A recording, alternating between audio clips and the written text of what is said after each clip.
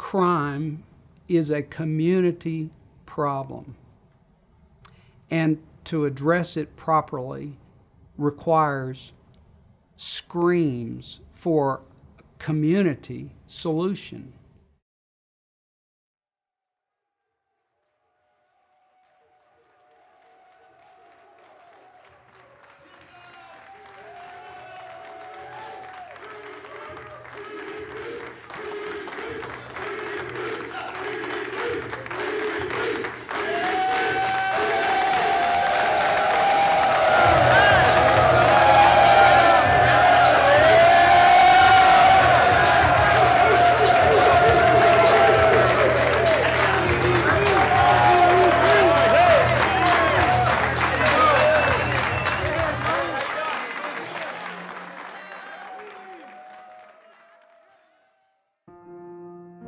Employment is a significant challenge for released felons.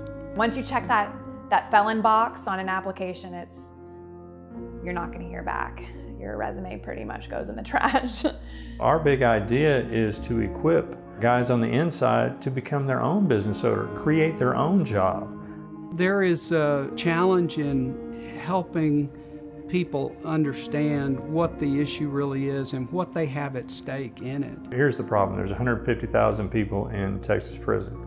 We spoke at a business event one time, and a lady got up at the end and said, you know, help these guys because if a guy gets out of prison and can't get a job, he's got two choices, reoffend or hang themselves like my best friend did. And the gravity comes crashing down. The vast majority of crimes committed in Texas or in other states this year will be committed by felons who were released within the last three years. If we can change that equation, we are all better. It, we're all safer. Rehabilitation, at least down here, is largely an inside job. You do it for yourself or you don't do it at all. Baylor did a study a few years ago on nine programs uh, within Texas. Three of them actually increased recidivism. What's great about our program is we've hand chosen guys that want something better for themselves. They know that they're capable of bigger things. I came to PEP for the character assessment. It wasn't for the business. It was for change, changing myself. If I can't change, I'll never be the man my family deserves. You know, especially my son. I've been in prison three times. I've done nine years down here. And um, this time I was down, my dad passed away last November. And uh, before he passed away, I made a promise to him that I was going to change for him and for myself. Without y'all, it wouldn't be possible. And I'm smiling for him because he's watching down on me right now and seeing me with you guys. Thank you.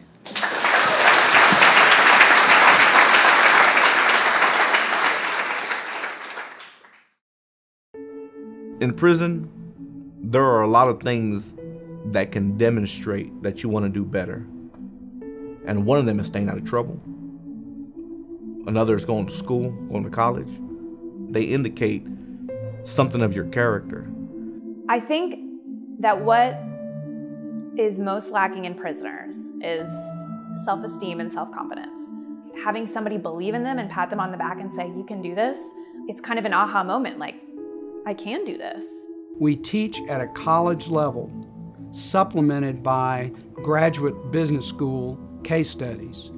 So it's very challenging. It's more difficult than anything the men have ever undertaken. At the end of that, we have a multi round business plan competition where the guys give a 10 minute pitch to a group of sharks and then we select a winner. We help guys connect the dots and become more than they were when they came in. Most of the people I meet with are very skeptical in the beginning. They, you can just see it on their face and they're kind of like, uh, men's prison. There are a lot of people out there that think, well, good, they deserve to rot in there. I used to be one of those people. I never thought that I would be an inmate.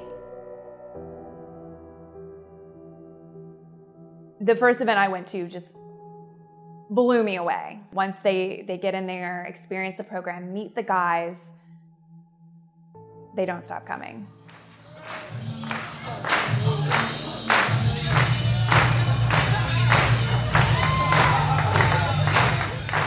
These guys and the staff, because we're all, most of us are convicted felons as well.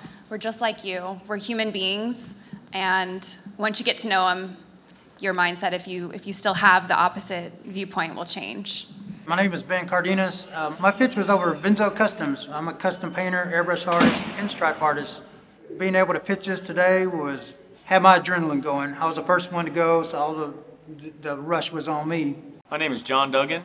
My business pitch was about a framing company, and what PEP has done for me, it's rekindled that fire that I used to have when I was younger.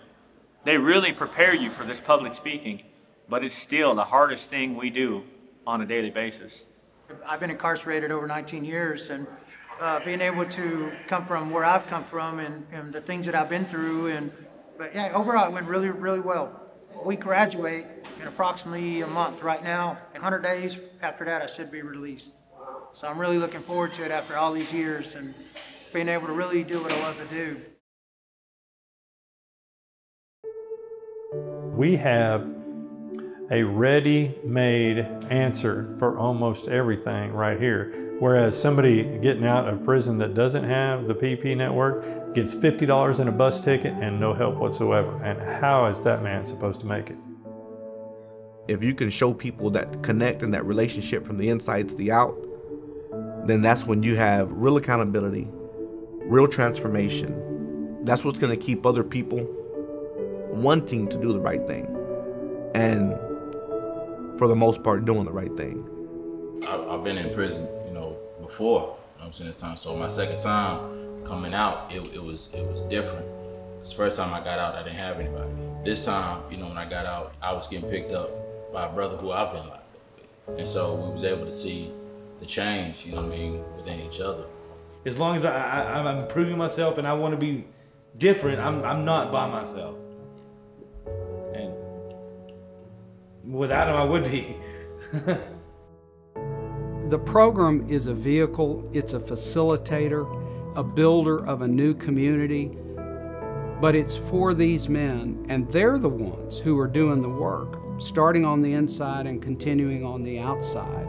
The only thing for us to do is to do it more. You know, you know, gather more resources and do more work. It just shows if you invest a little bit of time and, and love and effort into somebody, they're capable of limitless things. I think that's that's what sets us apart.